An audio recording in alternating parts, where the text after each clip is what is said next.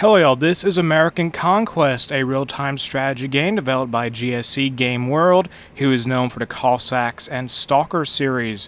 This game was released in 2002 in the EU and 2003 in North America, and it is all about conflict in the American continents from the 15th century to the early 19th century we are going to complete the first mission of what I guess could be considered the tutorial campaign. This part of the game focuses a lot on the voyages of Christopher Columbus from 1492 to 1502.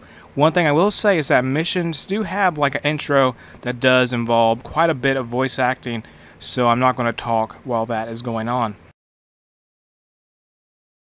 On the 3rd of August, 1492, an expedition of three ships left the port of Palos fully equipped to search for a seaway to India. The expedition was led by Christopher Columbus, a man destined to go down in history as the discoverer of a continent previously unknown to the Europeans. The most striking fact of his voyage, however, is that Columbus was not actually seeking to discover new lands. He was looking for a sea route to the distant country of India, a land whose fabulous riches had been the subject of many a myth, which had kindled the fire of greed in the eyes of all men regardless of whether or not they had previously been prone to avarice. It was from India that Columbus was to bring his patrons much gold, silver, spice, and slaves to repay them hundredfold for the expenses of the voyage. Much was invested into the expedition.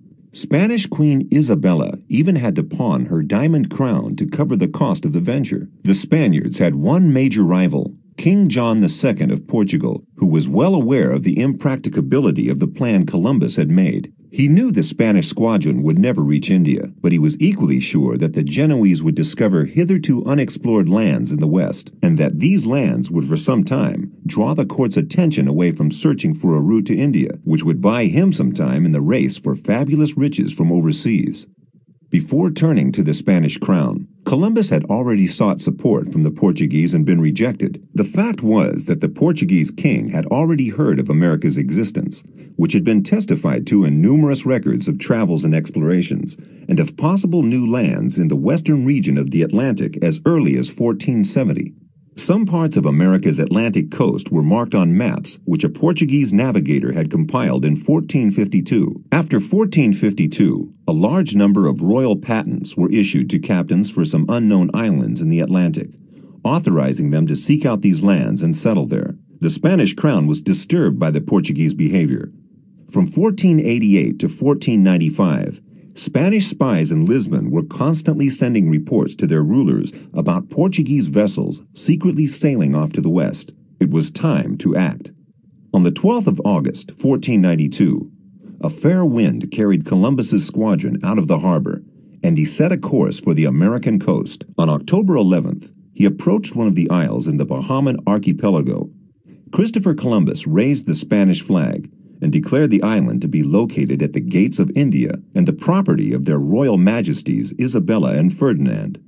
The details of the conquest were taken down by the expedition's notary, Rodrigo de Escobedo, in a document that declared the native islanders to be Castilian subjects. Columbus's ships then began to explore the shores of the New World, unaware of the dangers awaiting them at every turn.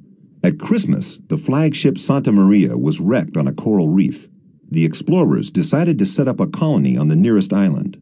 On January the 4th, Columbus left 38 people behind with a stock of weapons and food in the new colony they had named Navidad, Christmas, and set sail for Spain. On March the 4th, the explorers stood before King John II, who welcomed Columbus with open arms and affirmed his own rights to the New World. King John later offered to discuss the rights to the newly discovered lands and a treaty was drawn up in 1494 whereby the demarcation line was to follow the meridian 370 leagues west of the Cape Verde Islands. According to the agreement, Brazil went to Portugal.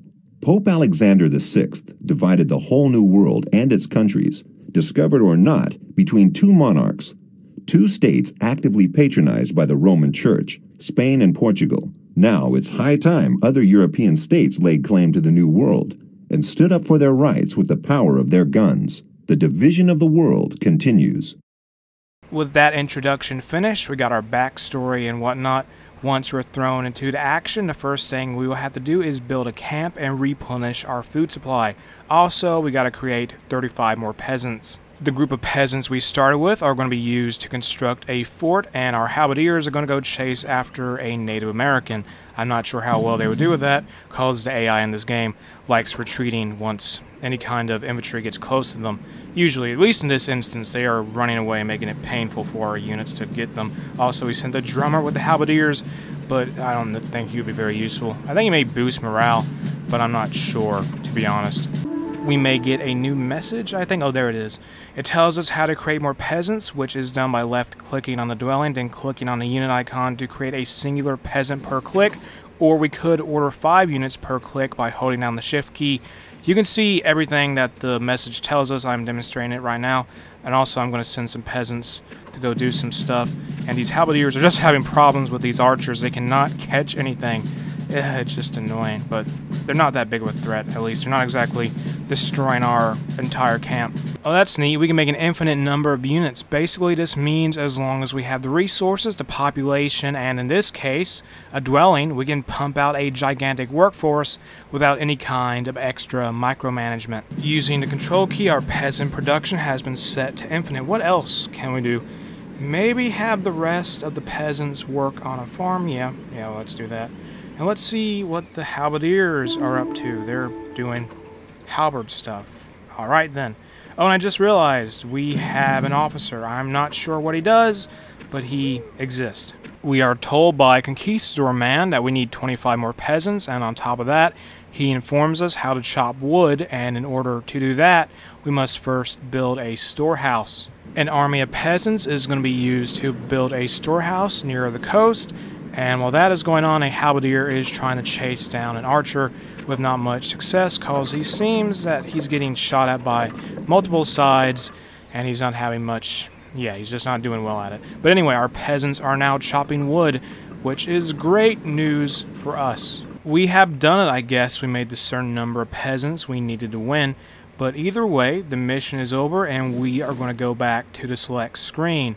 And with that, the video is going to stop here. If you enjoyed the game, check it out in the description below. If you enjoyed the video, make sure to like and subscribe. Don't forget to leave a comment. Have an awesome day. I'll see y'all later. Bye.